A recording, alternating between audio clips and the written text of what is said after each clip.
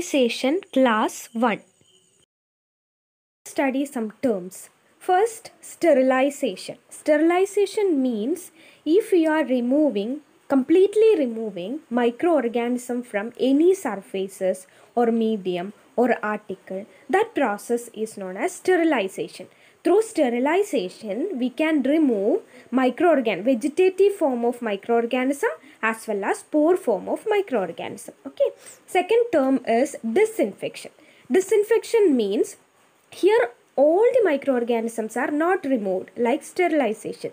Here only um, pathogenic microorganisms are destructed or removed from the surfaces okay? Or infection causing microorganisms are removed from the surfaces.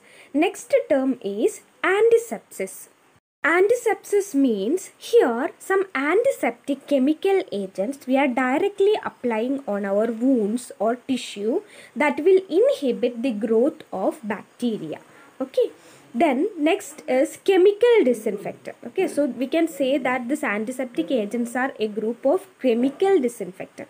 But normal disinfectant we are used to clean surfaces and all. But this chemical disinfectants we can that is the antiseptics that we can safely apply on our skin mucous membrane in order to prevent the inhibition caused by bacteria such chemical agents are generally known as antiseptics okay? Then there are some agents they are named as chemical agents they are named as uh, bactericidal agents or germicide which means cidal means they kill the particular bacteria of the chemical agents they are bacteriostatic in nature. Bacteriostatic agents that means they they will not kill the microorganism. They inhibit the multiplication of bacteria or just they inhibit the growth of bacteria. But the bacteria remain alive.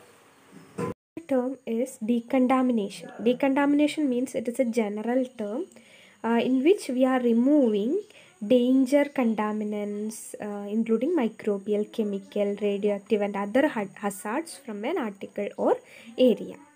There are various means for uh, sterilization. They are broadly classified into two physical agents and chemical agents. Physical agents include sunlight drying method dry heat method. In dry heat method flaming, incineration and hot air oven is used. Next is moist heat method in which pasteurization, boiling, steam under normal pressure, steam under pressure is used. Filtration by using several methods, ultrasonic and sonic vibrations. Similarly, chemical agents are also used for sterilization which include alcohols, different types of alcohols, different types of aldehydes, dyes and halogens. Next, uh, similarly, chemical agents like phenols, surface active agents, metallic salts, and several types of gases are also used for sterilization. Let's discuss one by one. The first type of physical agents used is sunlight. Uh, sunlight is having bactericidal activity. That means it kills the uh, bacteria and it is uh, a spontaneous sterilization method, naturally occurring uh, method. And uh, under natural conditions the sterilizing power of sunlight it varies depending upon some conditions. For example direct sunlight in tropical countryside uh, it is uh, not filtered off by impurities in atmosphere. So they have maximum germicidal effect uh, two scientists named Semple and Craig, they are from India. Uh, they conducted an experiment in which they uh, ty- exposed the typhoid bacilli on a piece of white cloth um, uh, to direct uh, sunlight and it is killed within two hours.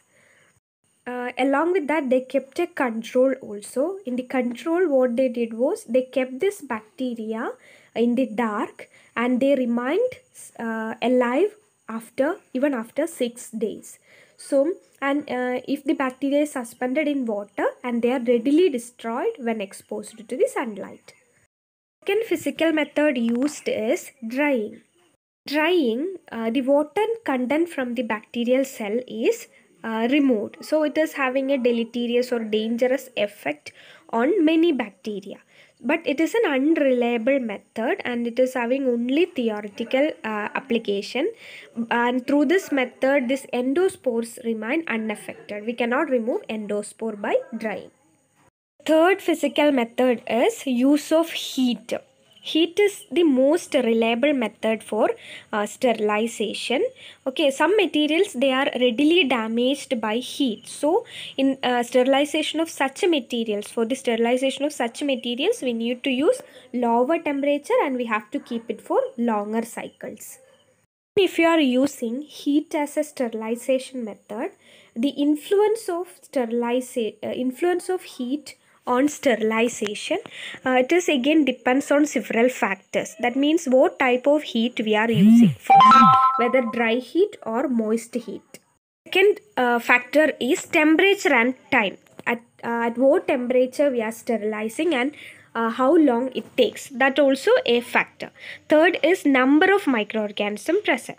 Uh, if we uh, if the uh, sterilizing surface or article which contain large number of microorganism it take higher it takes longer time and higher temperature for sterilization Again, the sterilization efficiency often depends upon what type of microorganism present on the surface or article, what species, strain, and their endosporing capacity. This all are influencing the sterilization uh, efficiency.